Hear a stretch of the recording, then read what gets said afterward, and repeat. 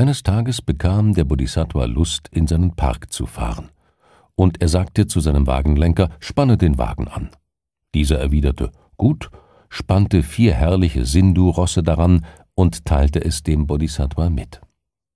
Dieser bestieg den einem Göttersitz gleichenden Wagen und fuhr fort in der Richtung nach dem Parke. Da dachten die Götter, die Zeit ist gekommen, dass der Prinz Siddhartha zur Erleuchtung gelangen soll. Wir wollen ihm ein Vorzeichen vor Augen stellen.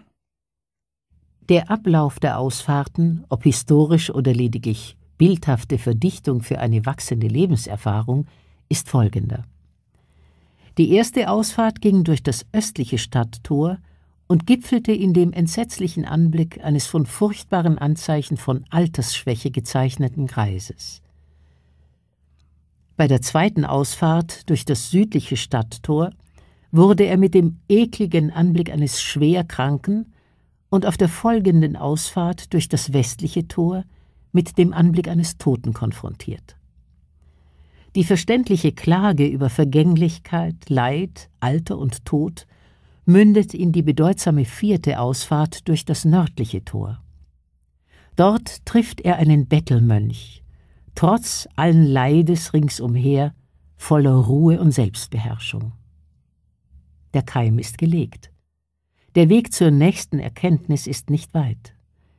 Ekel haftet nicht nur Alter und Krankheit an, sondern auch dem Luxus. Es gibt viele Geschichten über Prinz Siddhartha, den Mann, der zum Buddha wurde. Viele dieser Geschichten beginnen damit, dass Siddhartha ein behüteter Prinz war, der eines Tages auf einem Ausflug außerhalb des Palastes zum ersten Mal Krankheit, Altern und Tod begegnete.